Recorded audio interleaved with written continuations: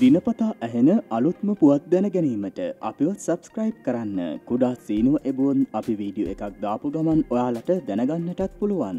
දිනපතා හොඳ නින්දක් නැතිනම් ප්‍රමාණවත් නින්දක් ලබා ගැනීම යහපත් ශරීර සෞඛ්‍යයට අත්‍ය අවශ්‍ය සාධකයක්. ඒත් වැඩිපුර නිදා ගැනීම ශරීර සෞඛ්‍යයට ඒ තරම් හොඳ නැහැ. බොහෝ වෙලාවක් නිදා ගැනීම නිසා හදවතේ ක්‍රාකාරිත්වය අඩුවිය හැකි බව මේ වනවිට පරීක්ෂණ වලින් සොයාගෙන තියෙනවා. මේ නිසා අධික ලෙස නිදාගන්න අයට හර්දරෝග ඇතිවීමේ අවධහනම වැඩි. එසේම ශරීරය අධික ලෙස තරබාරුවීම අධික නින්ද බලපානවා. නිදාගෙන සිටින වෙලාව වැඩි වූ විට ශරීරය අක්‍රියෝ පවතින වෙලාව වැඩි වෙනවා. මේ නිසා සිරුරේ කැරලි ප්‍රමාණය වැඩි වෙනවා. ඒ හේතුවෙන් සිරුල ස්තුල වෙනවා. නින්ද වැඩිවන විට ශරීරයෙන් නිපදවන සීනි ප්‍රමාණයද වැඩි. මේ නිසා නිසා දිය වැඩියාව වැළඳීමේ අවධානමද ඉහලයි. දිගුනින්දක් ලබන අයට ශරීර ක්‍රියාකාරකම් අඩුවෙනවා මේ නිසා උදාසීන බවද වැඩිවෙනවා. අධික ලෙස නිදාගන්නා පුද්ගලයන්ගේ මොලය ඉතා එක්මනින් වයසට යනවා. මේ ආකාරයට මොලයේ ව්‍යූහය වෙනස්වීම ඥානය කෙරෙහිද බලපානවා. ඒ වගේම අධික ලෙස නිදාගන්න අයට වැළඳෙන තවත් රෝගයක් ලෙස හිසරදයද හඳුන්වන්න පුළුවන්. අධික නින්ද මොලේ ස්නායුවලට කරන බලපෑම හේතුවෙන් මේ තත්ත්වය ඇතිවෙනවා. එසේම කොන්දේ වේදනාව අධික නින්ද නිසා නිසා ඇතිවන තවත් රෝගයක් මේ සියලුම රෝග එකතු වූ විට